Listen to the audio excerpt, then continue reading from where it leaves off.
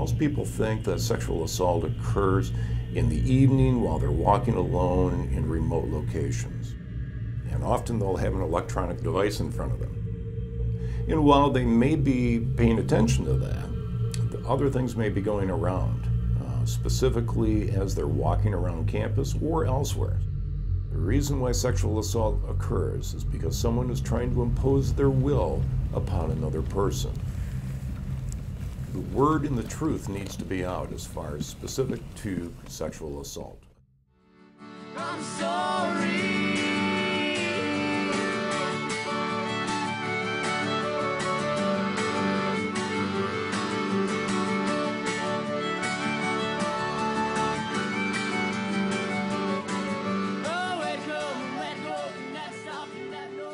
Statistics nationally show over 90% of sexual assaults that occur, the victim and the suspect know each other. More importantly, alcohol is a precipitating factor. Either the victim and or the suspect have been consuming alcohol. And I definitely want victims and survivors to know that if they've been drinking, that that is not a reason to not disclose it. I mean, the crime is the assault itself, not the alcohol. So I went to a graduation party. This was one of the last ones before everyone kind of pieced out and left. And we were having a great time. There were, all my friends were there.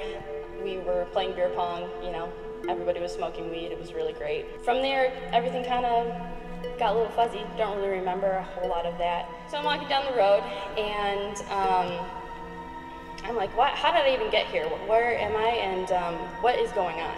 Ended up getting into his car, which I didn't even know was around the area.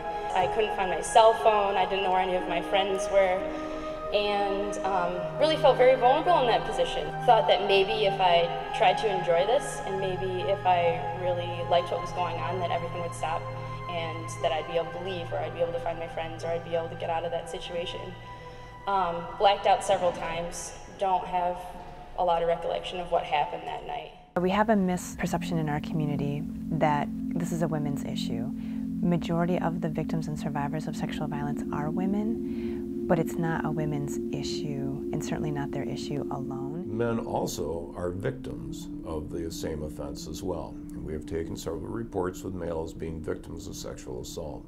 Have you guys ever seen a situation like at a party or something where a guy is feeding a girl drinks and they kind of go upstairs and you know she's drunk and you're like, that's that looks wrong. So have you ever seen that before? Have you ever stepped in and done anything about it? It's okay to step in and say something, and maybe it's as simple as distracting. It can be difficult if people are drinking without raising tempers and things like that. So maybe you just intervene and say, hey, I know him or her, why don't you let me take them home? You know, I'm friends with them, and have a group of people that you know and trust to take that person, that potential victim survivor home, and so that they're safe and secure. Now, we encourage our students to be alert, to be aware, to be responsible for themselves and responsible for their community. Society does such a phenomenal job with victim blaming that he or she must have expected this to happen because they're drunk, right? Because they've passed out. And that's what we have to shift, that's what we have to change, and that's not the reality you know? And so I think being an engaged bystander and being active and being watchful of that and, and helping someone out, whether they're your friend or a stranger, right? It's our community. Individuals need to know and understand that they need to be responsible for themselves. And how do we do that? How do we be responsible for our community? And that's as equally as important as well because we do need to care for one another. We should care about everyone and care about their safety. I think that everyone deserves a right to be here and to be immersed in a learning environment that's free of hostility, free of assault.